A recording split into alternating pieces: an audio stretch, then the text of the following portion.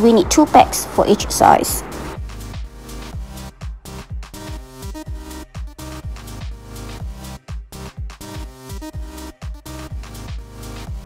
Hi guys, thank you for stopping by. For those of you who are new to my channel, I love doing decor with my kids and sometimes I will insert some um, makeup videos so you have to bear with me, okay? Thank you guys.